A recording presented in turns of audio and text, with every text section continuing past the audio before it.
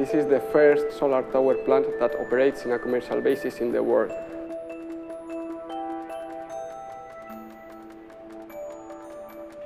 It is formed by a tower that is uh, 115 meters high and it has 622 heliostats that are those large mirrors that reflects solar radiation into the receiver that is at the top of the tower. We produce steam to uh, move a steam turbine and to generate electricity.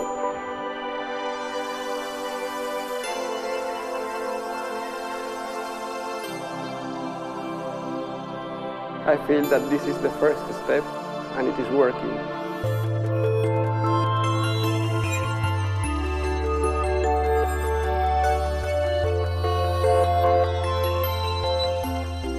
This plant puts all the electricity that generates into the national Spanish grid.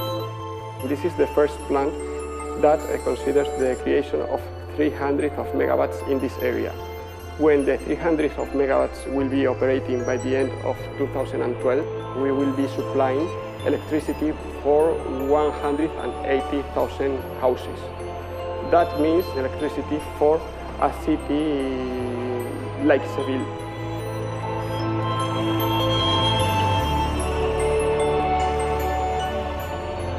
You see, we are with our minds open for the future.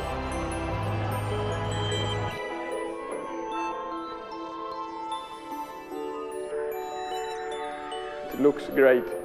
Sure, one of the most impacting aspects of this technology is that it's very, very attractive.